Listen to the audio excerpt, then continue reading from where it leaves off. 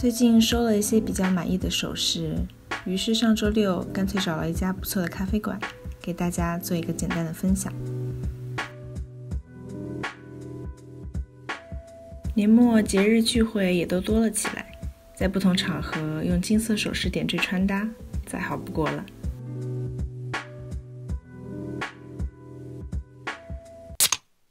首先是一对日常戴的小耳钉，经典的圆环设计，但又有小心机。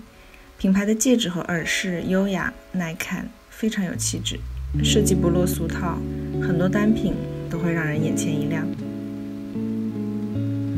第二对的形状，我当时找了很久，觉得这种类型的耳钉里这款是最好看的。碎钻的温柔中和了锥形的攻击性，是一个来自纽约的设计师品牌，在 Shopbop 上经常能淘到惊喜。第三对是来自 Mango 的经典款，上耳效果很惊喜。我觉得 Mango 的首饰做工是快销里的佼佼者，这对在偏商务或者正式的场合戴都能够提升气质。金色圆环是耳饰里必不可少的，各种粗细大小的都可以背着。这副当时去时装周买的，很有存在感，店家特意做成空心的，也不重。这对圆环就比较精致了，来自伦敦 Vintage 店 Rocket。它偏细，又有偏复古的纹路，所以不管是酷还是 chic 的穿搭，它都能 hold 得住。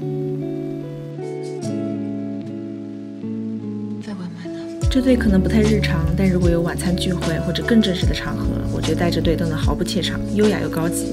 而作为 Club Monaco 的死忠粉，再次呼吁大家多关注他们家的首饰，这一季的戒指也非常优秀。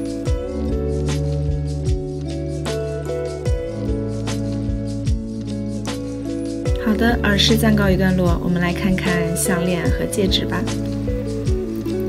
这条米索玛的孔雀石项链，相信大家都不陌生了吧？我觉得项链本身就很能打动人了，不需要我赘言。米索玛的金饰有质感，设计也很高级。阿米桑、Bella Hadid 和 Savvy 都是它的忠实顾客。这条 Vintage 是我在 Plum 上打折的时候淘到的，我觉得非常惊喜，整个风格比较活泼和俏皮。封面这条珍珠项链来自 OOAK。一戴上，古典气质简直爆棚。金色部分是一个女性的身体，配高领或开口毛衣都能瞬间吸睛。一个 magnet ring 来自北京的买手店，看着很重很大，但用来 make a statement 就非常有分量了。这个牌子的戒指，我当时多加控制才没有一口气买十个。整体设计照顾了流行元素，但总体质感还是非常经典和高级。在伦敦有一个月的快闪店，所以伦敦的朋友不要错过喽。好啦，这一期简单的首饰分享就到这里了。最近工作和学习实在有些忙，设备条件也不太好，希望大家还看得开心。